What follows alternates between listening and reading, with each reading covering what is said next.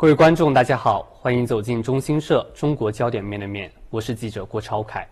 五月十八日至十九日，中国中亚峰会在陕西西安成功举行。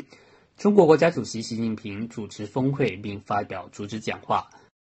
这是今年中国首场重大主场外交活动，也是建交三十一年来六国元首首次以实体形式举办峰会，在中国同中亚国家关系发展史上具有里程碑意义。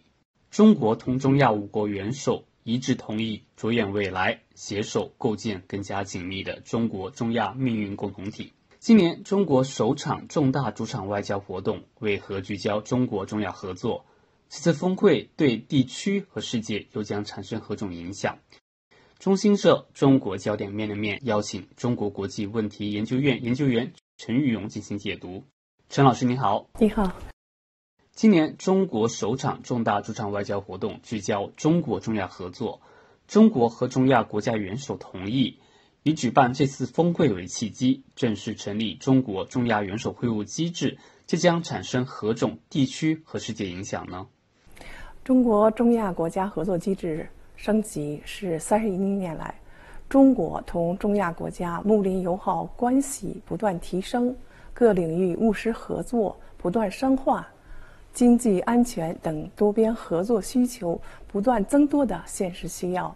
正如习主席指出，深化中国中亚合作是我们这代领导人着眼未来做出的战略抉择，顺应世界大势，符合人民期盼。中国中亚峰会为深化双边多边合作提供了重要平台，更广阔的合作空间。已将中国与中亚五国的合作提升到一个新的高度，在中国中亚国家关系史上具有重要的里程碑意义，将开启中国中亚合作新时代。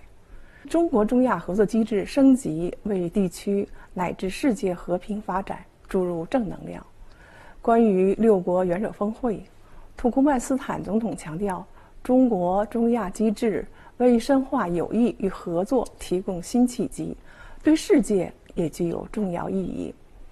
托卡耶夫总统表示，哈萨克斯坦愿意同中国中方一道，充分利用中国中亚机制，共同促进地区安全、稳定和发展。好的，陈老师，习近平主席在峰会的主旨讲话中指出，要携手建设守望相助、共同发展、普遍安全、世代友好的中国中亚命运共同体。并就建设一个什么样的中亚提出了四点主张，全面规划中国中亚合作的行动方向。您怎么看习主席提出的系列主张？他对未来中国中亚合作有何意义呢？习近平主席在中国中亚六国元首峰会上的主旨讲话，该说是高屋建瓴、言简意赅、内容丰富。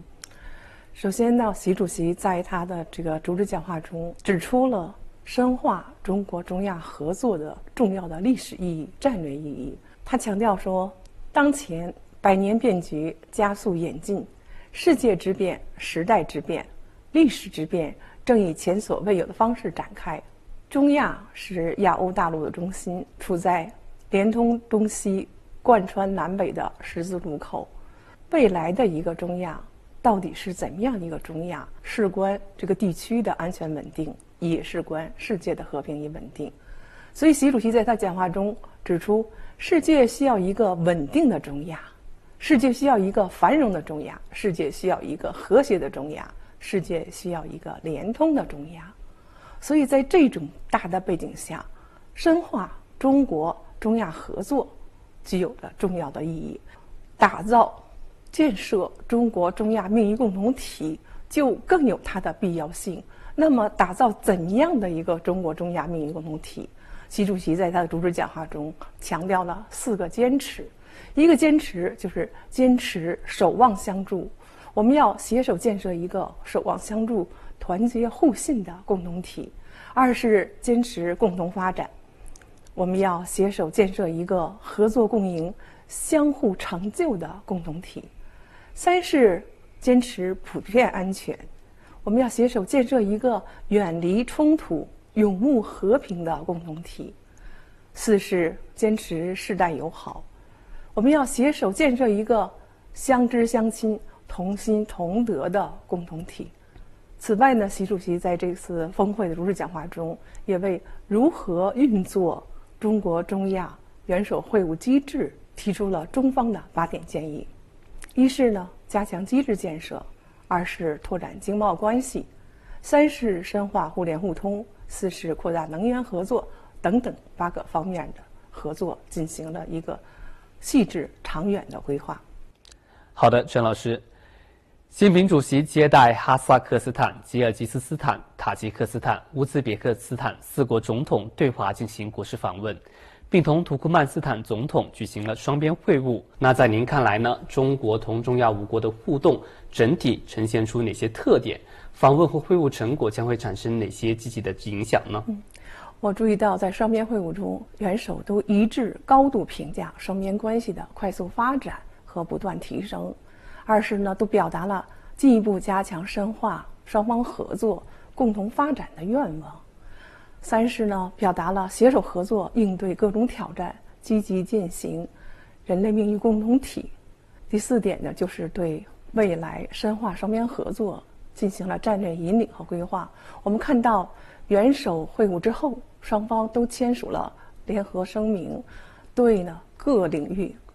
的深化合作做出了进一步的规划和细致安排，再一次彰显了元首外交它的战略引领作用。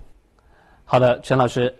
那在峰会的举行期间啊，各国元首就中国中亚机制建设、各领域合作以及共同关心的重大国际和地区问题交换了意见，并发表了中国中亚峰会西安宣言。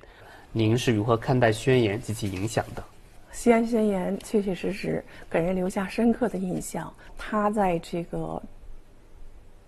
中国中亚元首会晤机制这个问题上给了一个答案。中国和中亚国家元首一致赞同，借这次西安峰会之机，成立中国中亚元首会晤机制。而且这个元首会晤机制是由六国啊。共同合作、共同推进，由六国共同轮流主持，并决定下一次，也就是说，中国中亚元首会晤机制的第二次会议将在二零二五年在哈萨克斯坦举行。同时呢，决定在这个框架内设立常设秘书处，而且这个秘书处设立在中国。这一点呢，实际上对这个中国中亚元首会晤机制。它的运行啊，给了一个清楚的界定，同时对中国中亚六国深化合作、对未来着眼于未来的合作进行了一个更长远的规划和战略引领。你比如说，宣言里谈的非常具体，就是说，中国中亚六国将在双边、多边的层面深化这个双边关系。在政治、经济、人文、安全领域的合作的具体的这种倡议建议，都在宣言中得到了体现。所以说，西安宣言在中国中亚六国合作的关系史上具有重要的意义，再次彰显了元首外交的引领作用。那中亚地区不仅是共建“一带一路”的首倡地，同时也是互联互通的标杆地。十年来啊，中国和中亚国家高质量共建“一带一路”取得了丰硕的成果。这次峰会对中国和中亚国家推进高质量共建“一带一路”有何意义呢？这一次中国中亚峰会对推进高质量共建“一带一路”提供了新动能，注入了新活力。我们知道，二零一三年，习近平主席在哈萨克斯坦首次提出了共建丝绸之路经济带的倡议。